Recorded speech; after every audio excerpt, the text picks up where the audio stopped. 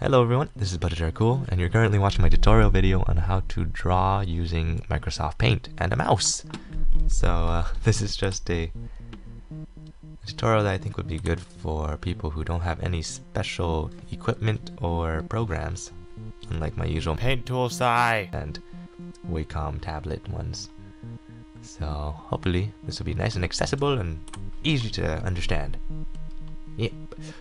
Okay, so first of all, um, yeah, right when you open Microsoft Paint, you'll just have your canvas. I think this is the default size. You can change the size of the canvas by pressing Control and E. And I would make this bigger for you guys, but for some reason my computer just hates it and just makes crazy horrible like except that was actually pretty good. But it usually makes like really really cornery things. Jaggedy. Jaggedy. No one likes jaggedy circles. Okay so yeah so we got the we got the canvas. I'm going to actually zoom in a little bit with the magnifier. Oh man this is great. And then i'll actually use the oval tool at a the second second size. And i'm going to pick blue as the color because this will be our sketch. Um so make a nice circle. And then we can actually move it after we make it. And this is way too big.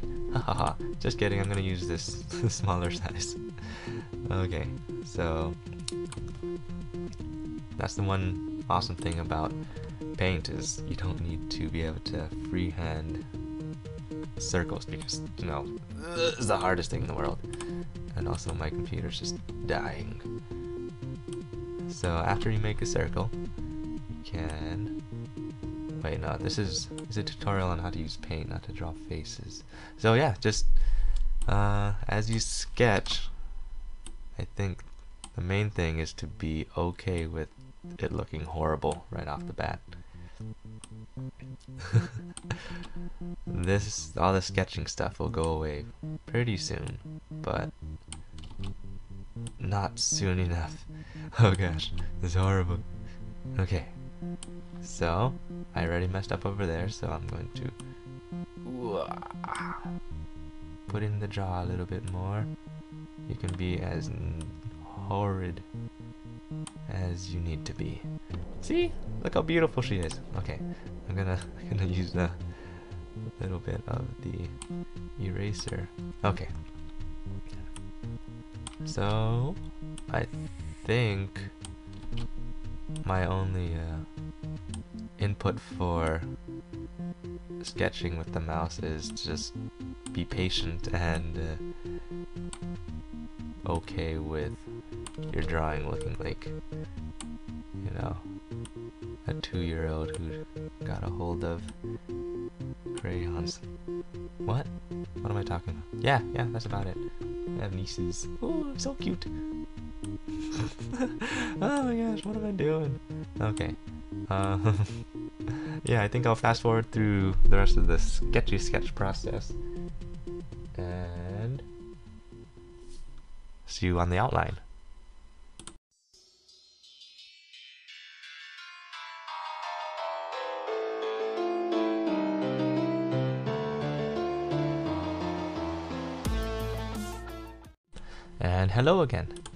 everything has gone well, you should have a slightly grody looking sketch. And yes, that, that's what we have here. Good So now, now that we have all of this in our blue color, let's go to the curve tool. This is where things are gonna start looking pretty. And yeah, that's that's the whole purpose of this tutorial, how to make something kinda pretty, kinda kinda pretty.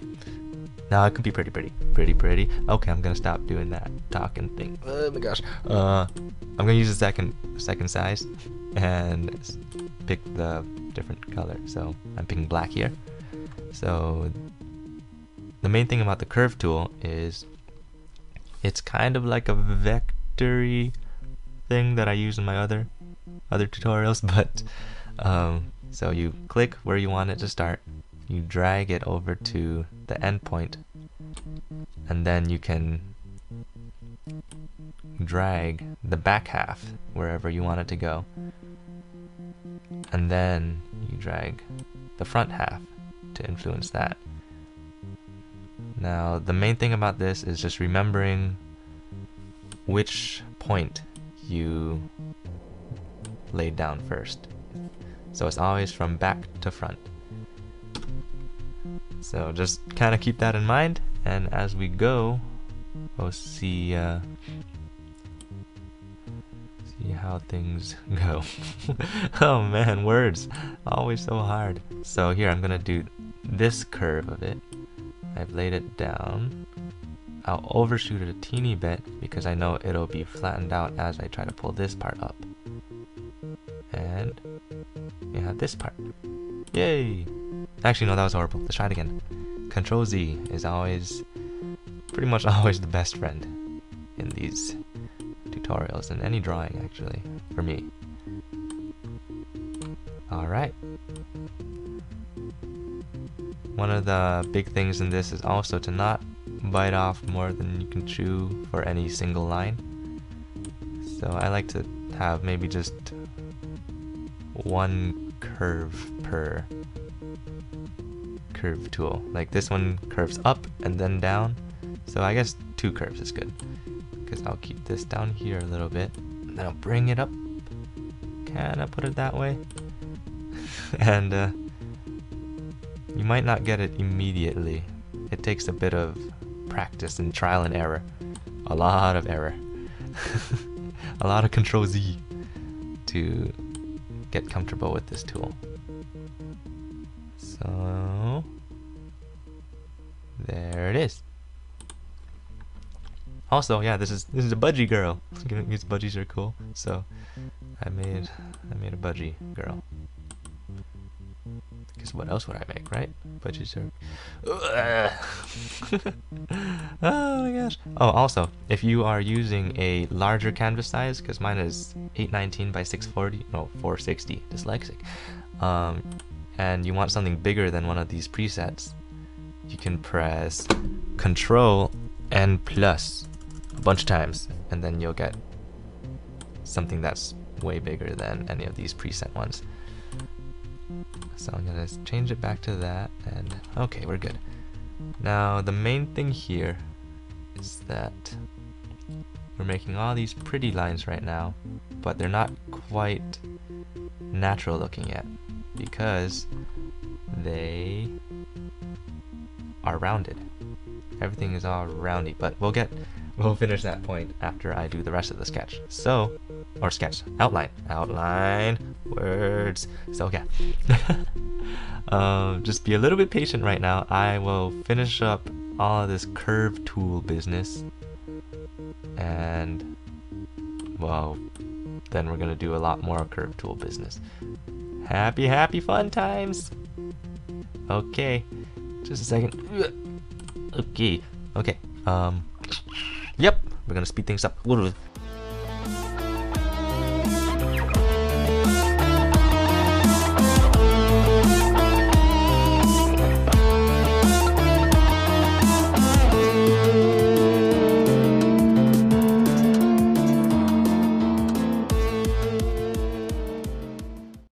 Alrighty, we have our basic outline now.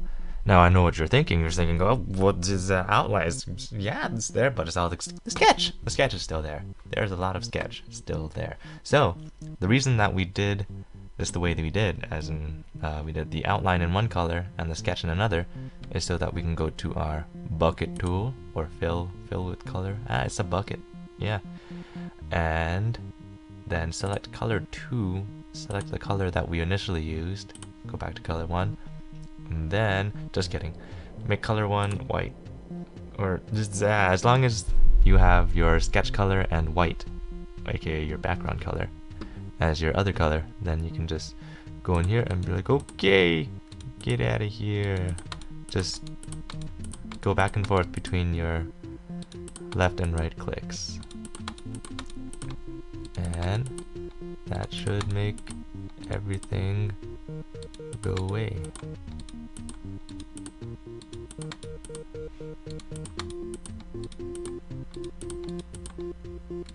Yay. This next step will be the one that'll make everything pretty.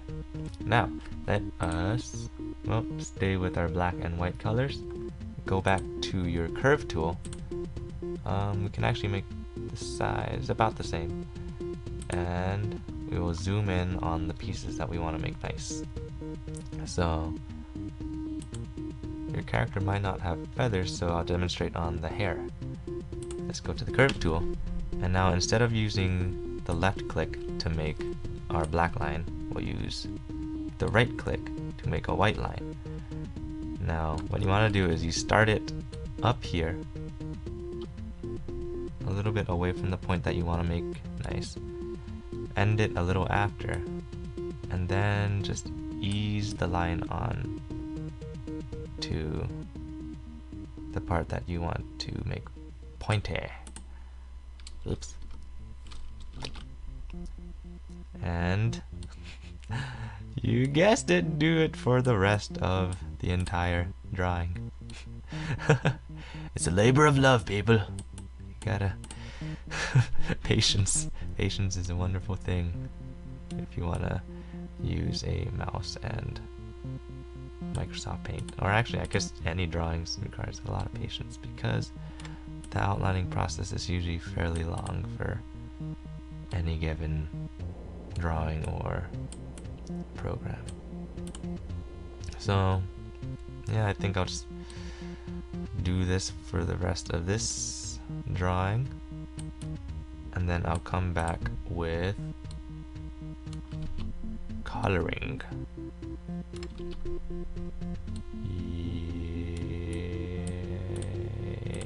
Yep. Okay.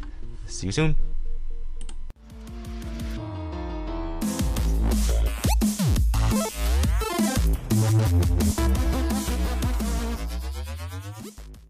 Okay, now we have a pretty outline, but as you can see, certain certain bits of it have little bits of blue in there. And we don't want that because that's that's not supposed to be there. This is part of our previous sketch. Now what we'll do is go to select make sure that transparent selection is checked. And then control A to select everything control X to cut it.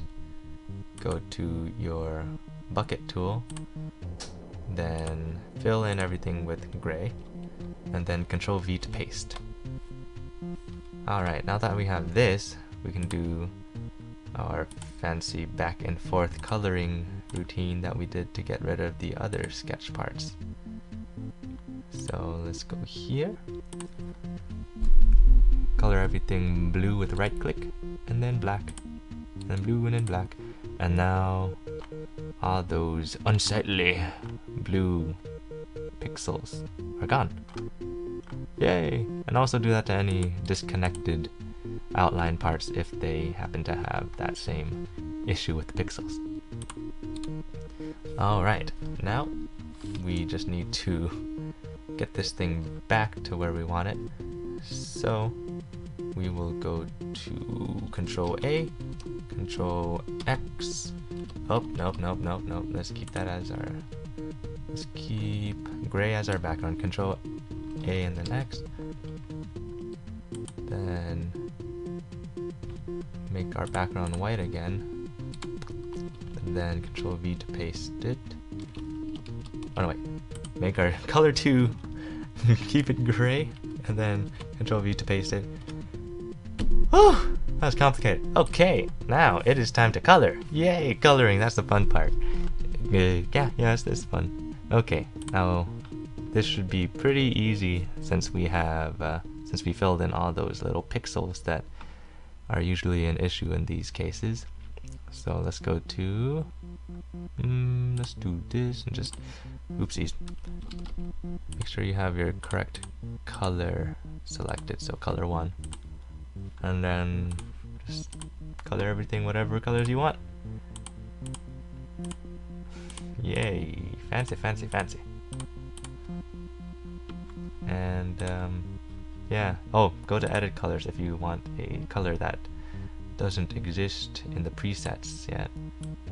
So I probably want to do some skin color, which will be normal orange but lightened up quite a bit. Uh, let's actually bring it down a teeny bit so it's less saturated. Add custom colors, okay, and then color in all the skin parts. Yeah, I think that's it. Alright, so I'll block in the rest. oh wait, no, that takes like two seconds. Never mind. okay, go over here. Make a new one. We're gonna be more yellow, and then drag this guy. Uh, okay, right around there. Add custom colors. Okay, and we made a beak. And this part is also kind of a beak too, so we'll make that also yellow. Then we'll use the dropper tool to get that color back. Make these strap feather parts more feathery again. And then I guess I do need a little bit of time to figure out what color I'm gonna make the hair. Ah, I hate making colors. Okay, I'll see you in a second. Okay, we've decided it's gonna be uh, a dark gray. So essentially black, but if you make it actually black, then it's gonna combine with the outline. So we'll make it just a touch lighter than black. It's a nice neutral color so that we don't have to have too much classing, clashing colors. Um, let's actually get another white color that's a little off. Ah no, we just went over one of our previous colors. It's okay. Um, we will use this to color in the eye whites. So what I usually do is I just make a teeny little.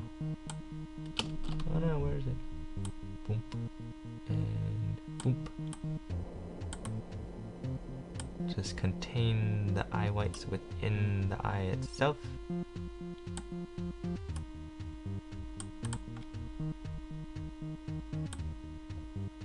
Uh, oh man, so much concentration. Okay, and then we get to fill it in. Yeah, oh no. Okay. And okay, I, oh man, these colors are too close together. I don't know what's what anymore. Okay, zoom in and all of these little bits. So if you're actually going at a higher resolution than I am, then you probably won't have these these issues of pixel by pixel coloring. Just remember that uh, I would normally go at a higher resolution, but my computer is of the age of the dinosaurs. So it is not capable of Microsoft Paint and all this recording software and this webcam thing all at once. So, ooh, yeah, fun, fun, fun. Okay, let's see. What color should we make the eyes? Let's do this color, same as the, the seer crest bit. Add custom colors, okie dokes. And then we'll do the same thing over here. This gap is a little smaller, than the eye gap. So I'm just gonna pencil it in and then fill it up. Okie dokie. I think that is just about uh, just about it for all of these. Wait, wait, what? Okay, wait, that's there. Gonna take this, gonna take that into there with the right click. And then, and then we'll take it. Okay. I just wanna even this eye thing out a bit. And okay, now we have color everywhere. Yay, okay. Next up is simple shading and then that'll be that'll be a wrap.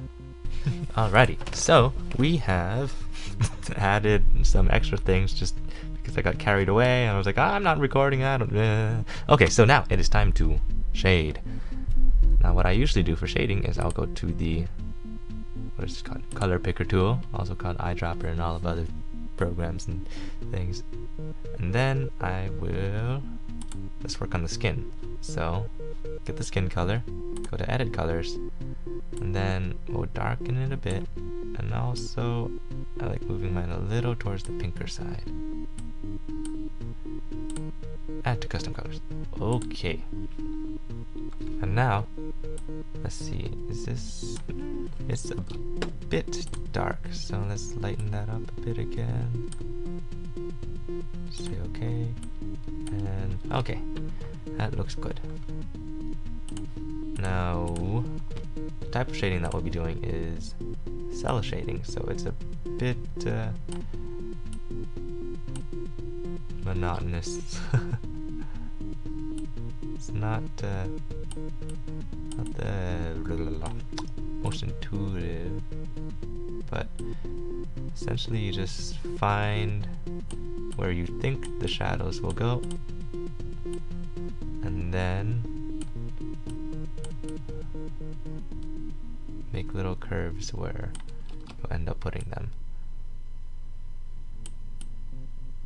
So again, this isn't really a tutorial on how to how to draw really. It's more just how to apply existing drawing knowledge and skills to paint. Microsoft Paint. Yeah. Alright so it's pretty much just find all the parts that'll be shaded. So I totally didn't want to do that one. Let's go there can even use the pencil if you feel so inclined if something doesn't need to be a perfect curve or if it's a short thing like that one. And actually let's let's make this dip. Oh no dip in a little bit. Okay.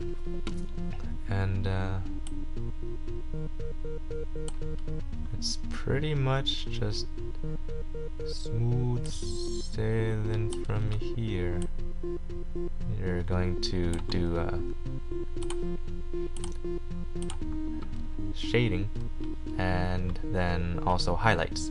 So in that case, we can go to our eyedropper tool, pick the skin, edit color, just lighten it up. I like to just do a straight lightening, don't need to do any fancy hue or saturation kind of things. And then put in your highlight and fill in the highlight. And that should be about it. So I think I will let the rest of this go in time lapse and then I'll show you an easy way of getting a basic background into your picture. Okie dokie. I will see you soon.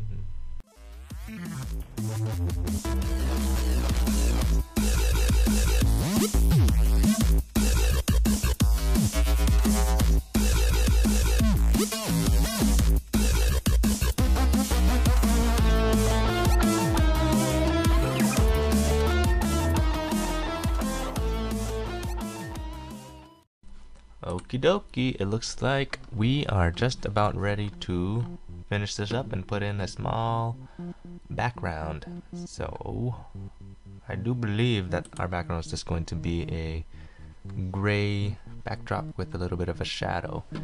Now, let's see if I can make this shadow work. First, go to Control A, or just press Control and A to select all. Um, copy it, don't cut it. So that's Control C. And now we do Control E, go to black and white, OK. Say OK even though this is a really scary error. Or not error, but you know, warning. and then it's super scary. Now we go over here. Actually no, we put it back to color. And then, and then, this is where I hope good things will happen. So that.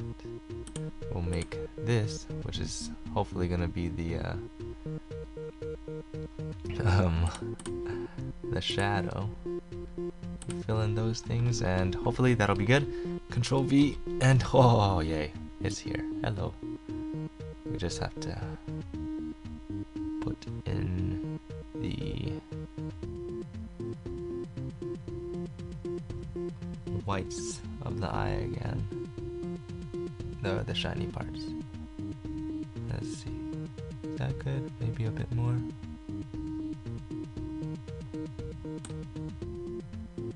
Yeah, okay. Then escape to solidify that change. And then bam! Oops, that's not it.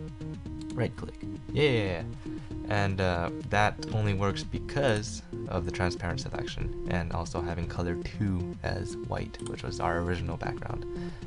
And I do believe that is the entire picture right there. Okay.